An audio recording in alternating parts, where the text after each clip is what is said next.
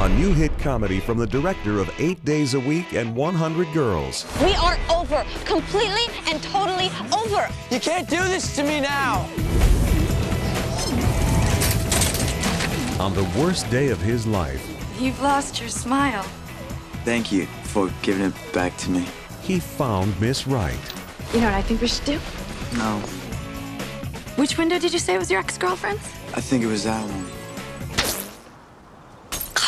My number's 555 Okay. 6344. Call me.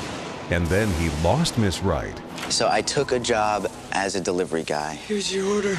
The job allowed me to search for hope on every run I made throughout the city. Hey, Hope! I'm so sorry. But when he found her, Hello, Sam. Oh, wow, Hope! I've been looking for you everywhere. You have no idea. How, how are you? You look like someone dropped an Acme safe on your head. she had a change of heart. I think it's best we say goodbye now. I'm not giving up on her. Now he's trying to win her back Hello, ladies. Can't make the one girl I love smile. with a little help from his friends. Do you know Hope in 60? What gave her such a mood dunk? My acting coach told me not to talk to anyone while I'm doing my exercises. Give me some straight answers or the espresso gets it.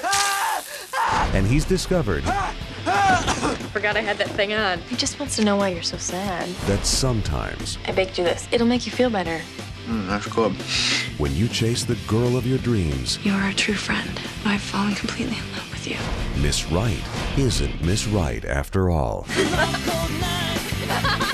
You love me, but you think you might also love Annie. You think you care about me, but it's just pity.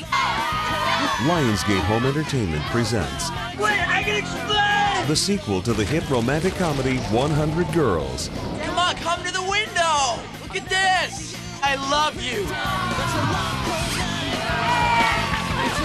100 Women,